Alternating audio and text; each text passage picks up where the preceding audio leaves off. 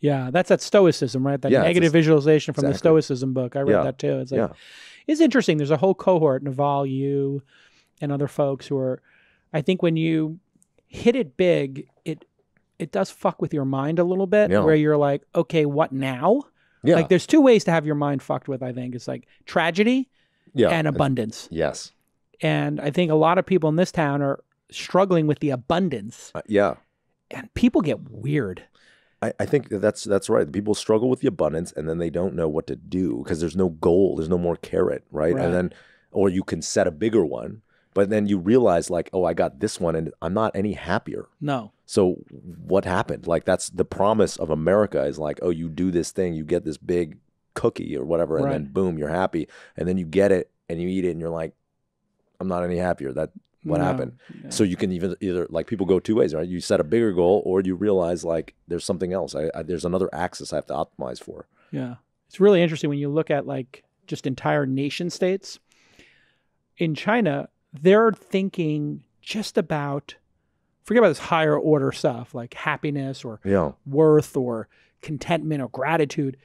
There's a there's a billion people who are like, I want to have running water, a job, a car, and Yeah. money. And they're just like Americans were, you know, at the turn of the century, you know, like a Yeah. hundred years ago. Like, I, I just want to be able to produce for my family. I just want to accumulate some wealth and Yeah. have a car on the driveway and own a home. Yep.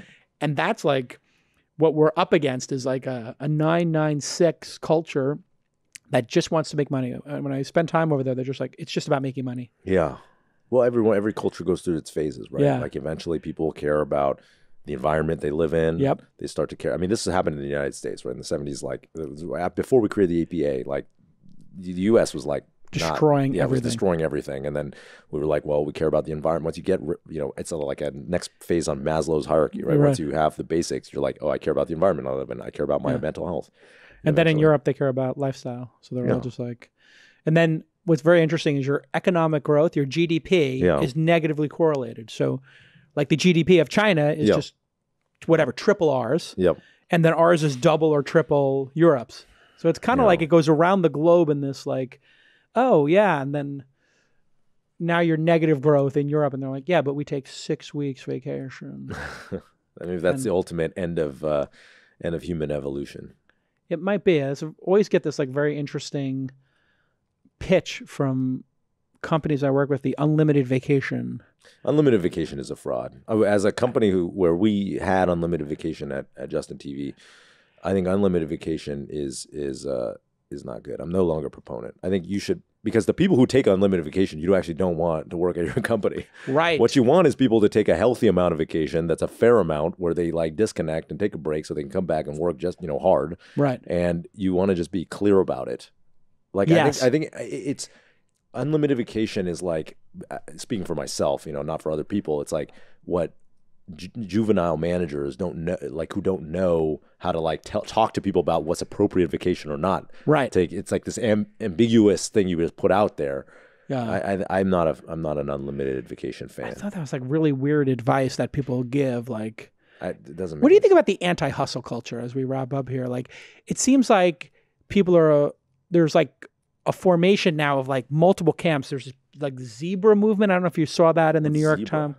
Um, it's startups that either can't raise venture capital or choose not to. Oh, and they like, kinda- uh, the ant- bootstraps. boot- yeah, bootstrapper. but it's it's like bootstrapping with a tinge of like VCs are toxic.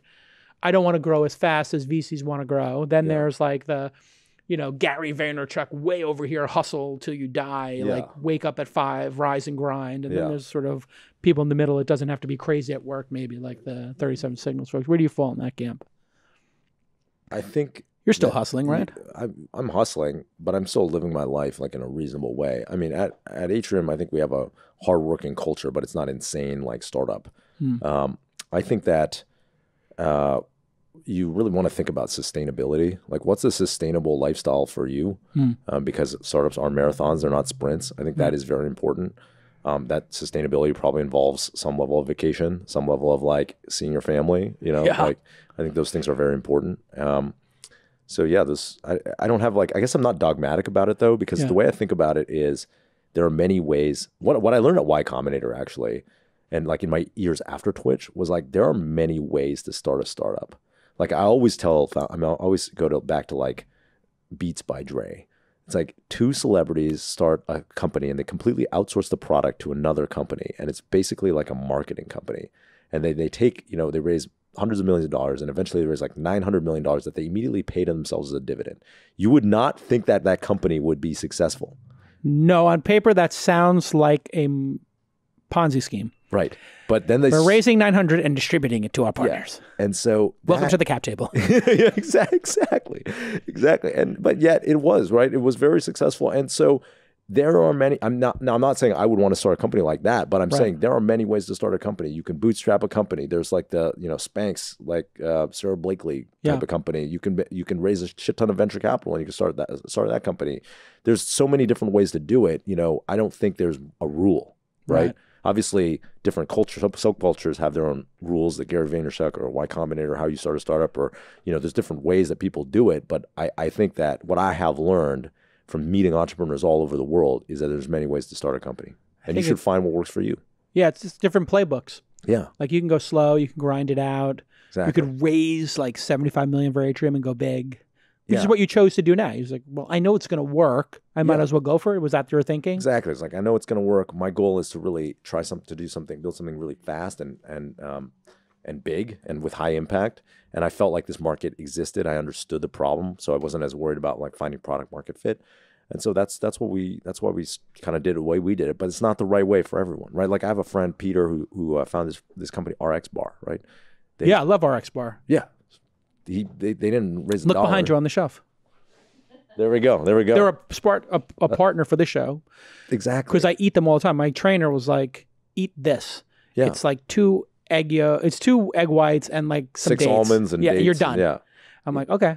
I I maybe five of those a week. I love them. I know. And Your friend started that company? Yeah, and they, they, so they. I think they only raised like a couple ten tens of thousands of dollars from family or something like that, and then you know they sold for seven hundred million dollars. They sold for years. seven hundred million dollars in five years. Wow. So so there are lots of ways. Like there's I'm not the anti VC people. They're saying VC is toxic all the time. Well, no. Some of the greatest companies in the world have been created with VC capital, venture capital. Twitch could never have been created without venture capital because we didn't have forty five million dollars to pay for servers. yeah, Right. and getting as a founder ten percent or whatever you wound up with, certainly less than twenty percent when you started. Yeah. it's just fine. Exactly. Exactly. There, Big but there's pie. There's many different ways to do it, right? And there's there's no right answer. And I think that people are looking for the algorithm. You know, there is no algorithm. Yeah, here it is. Yeah. Yeah, no self awareness. I thought you were going to say the when I asked people that question, what's important in startups? I didn't know you were going to go to self awareness. I thought that was a possibility. My other guess was you're going to say just building a product that really helps people. Oh, no, well, that, I thought I was taking that for given for granted. But that's kind of that's kind of table stakes today. It is Yeah, if- interesting. if like- you don't build a product that people actually use, then yes, that- what are we like, doing not- here? Yeah, exactly. Like you should get get a job somewhere. There's no, yeah. how did you raise from like I have a list here of your investors. it's like 90 different investors.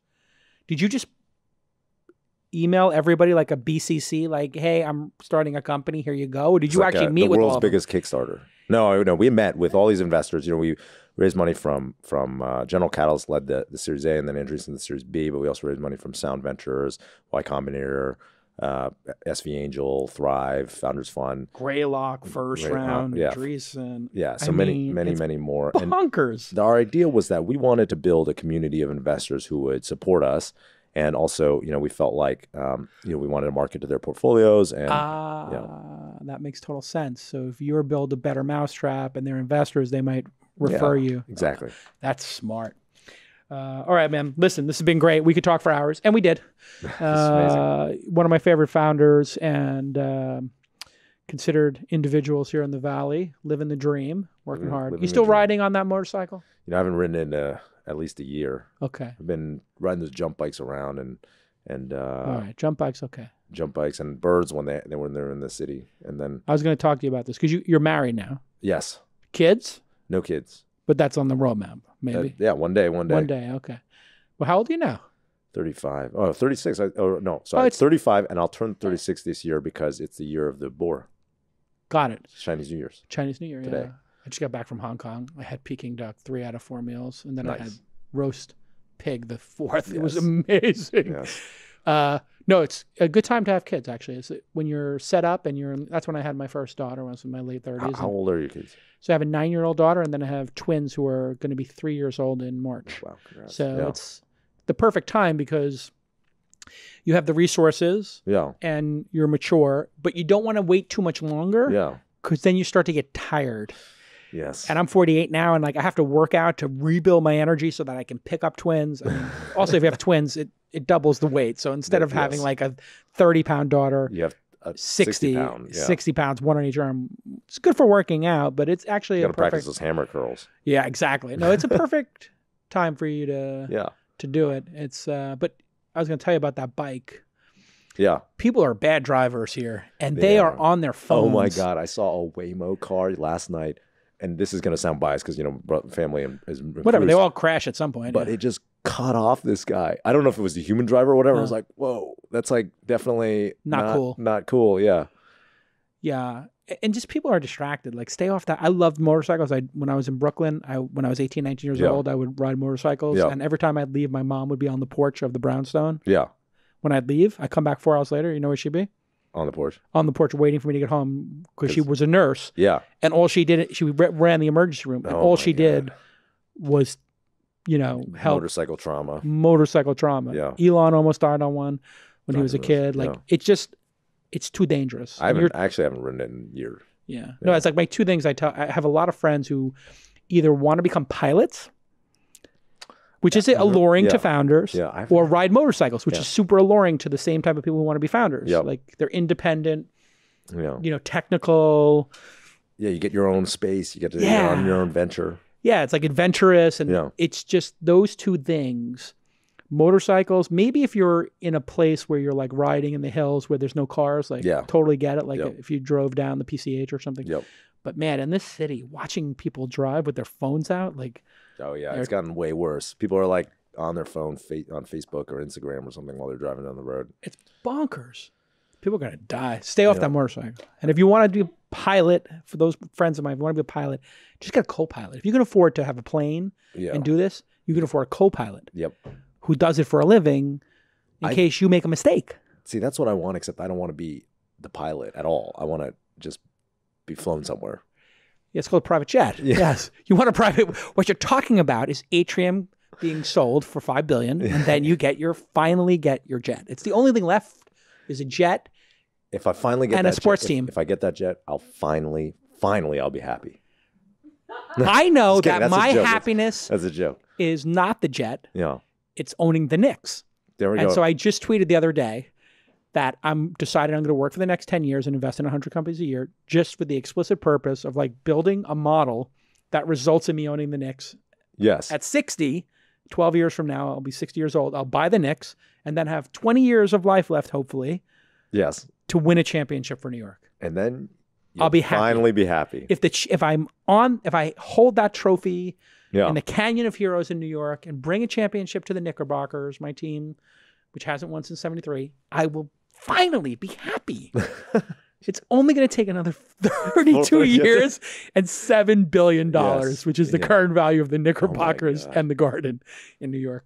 All right. Uh, thank you, Emmy Award winning producer Jackie. It's episode 900 and uh, 99 unicorn founders and investors to go. Jackie, you have your marching orders. The last, the next 100 episodes, all unicorn founders. And the next episode is going to be the founder of um, SendGrid, wow. also a unicorn. Unicorns, Unicorn- unicorns on unicorns on unicorns on unicorns unicorns on unicorns on unicorns on unicorns. Okay.